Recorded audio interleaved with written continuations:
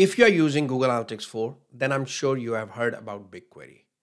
If you are not sure what BigQuery is, how to get started, and how to use that in your business, then this video is for you. I have created an email series that will teach you BigQuery step by step and answer all your questions. So check the description of this video for a link to that email series. After you click on that link, you will be taken to a page where you can sign up for this newsletter. Go ahead and enter your email address and click on subscribe.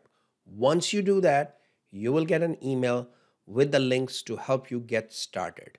Even if you have no idea about what BigQuery is, these links will help you understand BigQuery, how it relates to GA4, and how to get started so that you can send GA4 data over to BigQuery.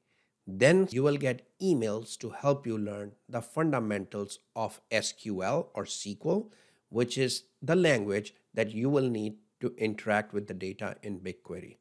Learning SQL and BigQuery will not only help you with your current job as a digital analyst, but will also open up many more job opportunities. However, as a digital analyst, if you are using GA4, then BigQuery is a must. So this is the right time to start learning BigQuery. Now let me show you a few of the posts that I have already written. So scroll down.